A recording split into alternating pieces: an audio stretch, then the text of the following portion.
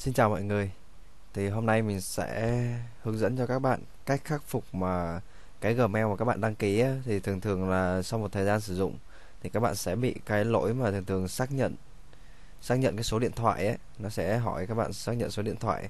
Nhiều khi mà các bạn để mail treo ở đó mà không xác nhận được thì coi như là cái mail đó là đứt rồi. Độ nó chạy được khoảng một khoảng thời gian là nó sẽ khóa cái mail đó luôn. Ok, bây giờ mình sẽ bắt đầu nhé đây mình cũng mới tạo một cái mail này.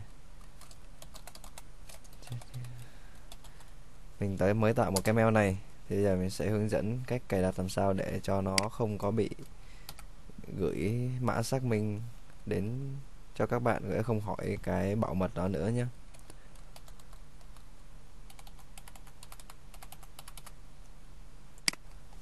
thì thông thường những cái mail mới ấy, các bạn nên add cái hình đại diện vào nhé để nó đảm bảo đấy nó hỏi mình đây. Thì thường thường các bạn ấy xong, các bạn, kể cả các bạn xóa cái số điện thoại này ha, thì nó vẫn bị nhá. Sau khi xóa cái số điện thoại, các bạn vẫn bị ha. Cái đó là do, lý do là các bạn chưa xóa hết hoàn toàn cái số điện thoại trong cái thông tin của mình. Thì trước tiên thì mình sẽ add một cái hình đại diện vô cho nó, để nó đảm bảo đó là một cái gmail thực thụ, chứ không phải là một cái gmail rác nhé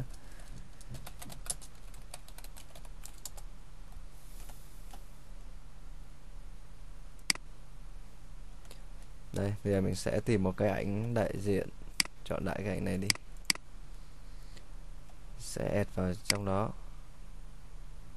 Lưu hình ảnh thành.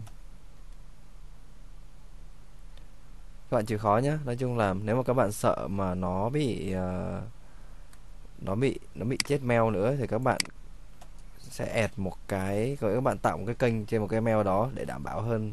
Nói chung là nó để nó cảm thấy cái độ xác thực của nó cao hơn thì Google nó sẽ không đánh cho các bạn, đó là cái Gmail rác hơn.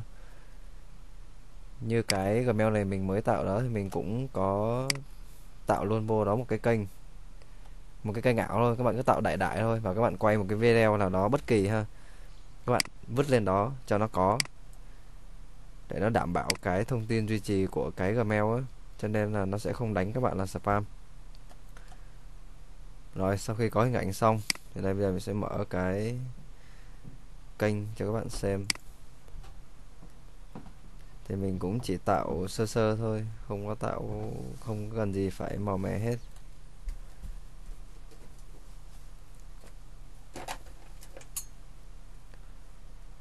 Chờ chút nó loát.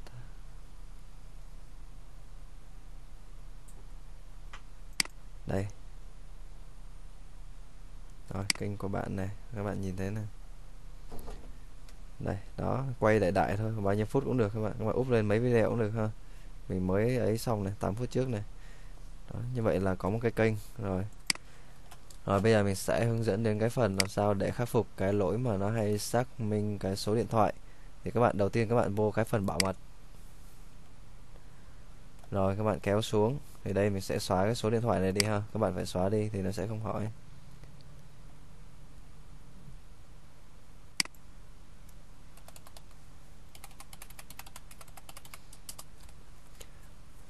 Rồi giờ mình sẽ tiến hành xóa cái số điện thoại này đi ha. Đây là xóa số mình add vô ha. Mình lấy để mình đăng ký. Xóa đi này. Rồi, xóa số điện thoại này.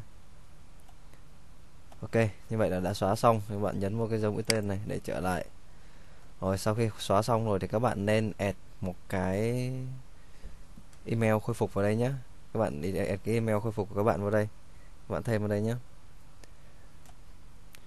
rồi sau khi xóa xong rồi mình sẽ đến cái phần thông tin cá nhân. Các bạn mở phần thông tin cá nhân lên.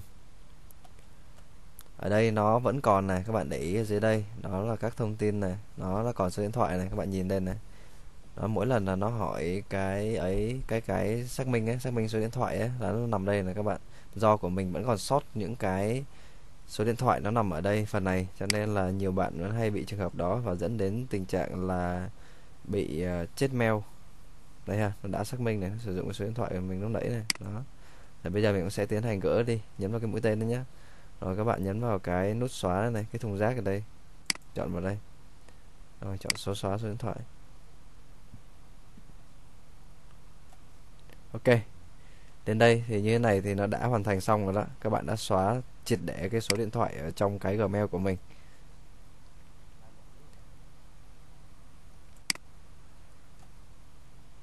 Rồi các bạn để ý này. Nó không có nhé số điện thoại không có này.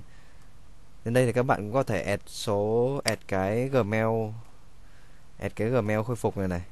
Có thể add cũng được mà không cũng được. Nhưng mà mình khuyên tốt nhất là nên add đi tại vì tránh trường hợp bị mất mail cũng phí lắm. Add vào để cho nó đảm bảo ha. Rồi. Như vậy là xong rồi đó các bạn đã đảm bảo.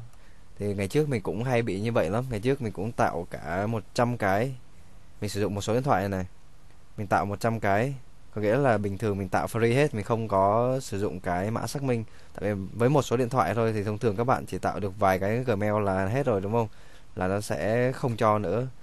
Thì cái bí kíp để tạo được nhiều á mà free á với một số điện thoại á thì các bạn cần phải để trong vòng khoảng cỡ một tuần hoặc là vài ngày.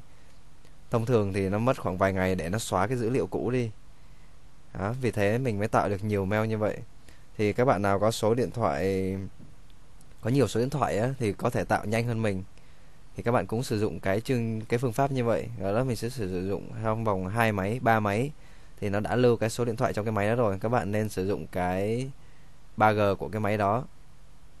Nên sử dụng cái 3G của máy đó nhé hoặc là các bạn cũng không cần cũng được. Các bạn sử dụng mạng thôi cũng được. Sử dụng mạng wifi chung cũng được thì khi đó thì các bạn có thể tạo như vậy được. Khi mà các bạn, bạn tạo hết rồi ấy nó không cho nữa khi mà nó hiện lên cái số mà xác minh số điện thoại ấy thì các bạn sẽ không có nhấn vào đó. Mà các bạn sẽ để chờ độ vài hôm thì các bạn sẽ có thể tạo lại được nữa. Cứ thế lặp đi lặp lại. Nói chung các bạn phải chờ trong một khoảng thời gian đó.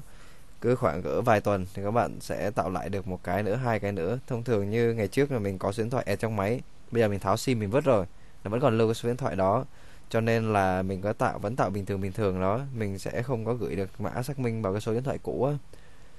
Cho nên là mình sẽ phải chờ độ vài ngày đó. Nó nó reset lại, bắt đầu nó cho phép mình đăng ký tiếp, rồi mình sẽ lại tạo tiếp tạo tiếp vậy. Cho nên là hiện tại là mình đang có một số lượng Gmail rất là khủng. Với một số điện thoại rồi đó, mình có thể đăng ký được. Đến hiện tại là khoảng cỡ 140 cái mail rồi. Trong khoảng thời gian là um, trong khoảng thời gian là khoảng cỡ độ 3 tháng 3 tháng 4 tháng 4 tháng. Trong khoảng thời gian là 4 tháng đó. Ok video của mình đến đây là kết thúc. Thì uh, chúc các bạn thành công.